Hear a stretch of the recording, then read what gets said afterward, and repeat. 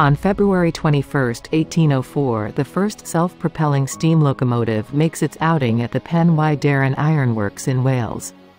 In 1848 Karl Marx and Friedrich Engels publish the Communist Manifesto.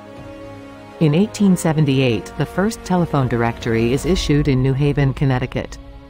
In 1947 in New York City, Edwin Land demonstrates the first instant camera, the Polaroid land camera, to a meeting of the Optical Society of America.